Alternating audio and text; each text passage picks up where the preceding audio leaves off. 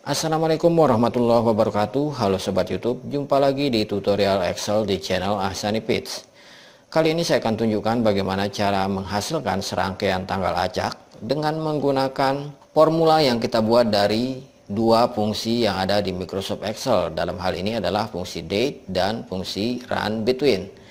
Bagi sobat sekalian yang belum mengenal kedua fungsi ini Saya akan perkenalkan terlebih dahulu.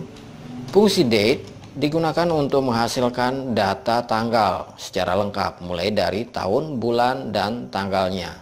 Misalnya di sini argumen tahunnya kita isikan 2021.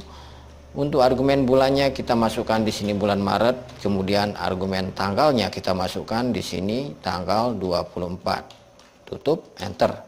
Maka dapat dihasilkan di sini 24 tanggal 24 bulan 3 2021. Nah, berikutnya untuk fungsi run between. Digunakan untuk menghasilkan nilai acak antara dua nilai yaitu nilai terendah dan nilai tertinggi.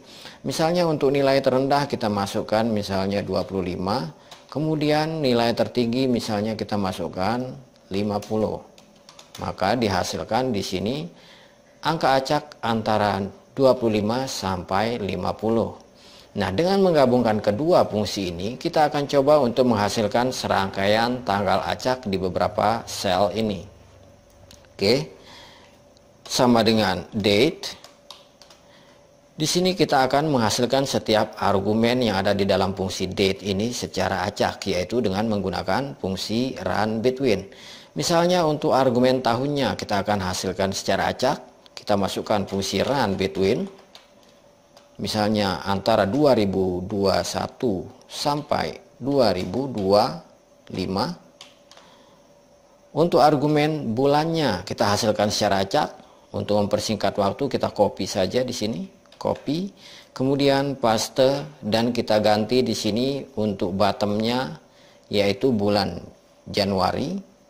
Untuk topnya atau tertingginya untuk topnya atau tertingginya 12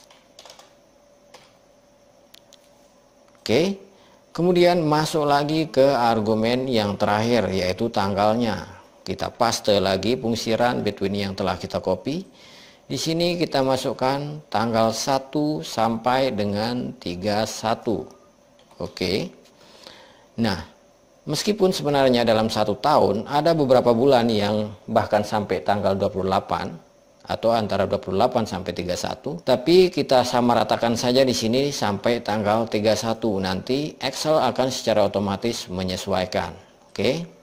Nah untuk yang terakhir di sini kita beri kita tutup fungsi date ini dengan memberikan kurung penutup di akhir. Kemudian tekan kontrol sambil menekan enter. Maka di sini bisa kita lihat gabungan dua fungsi ini bisa menghasilkan data acak atau tanggal acak antara tahun 2021 sampai dengan 2025. Nah, tanggal acak yang kita buat ini akan terus berubah setiap kali kita melakukan aktivitas di dalam spreadsheet.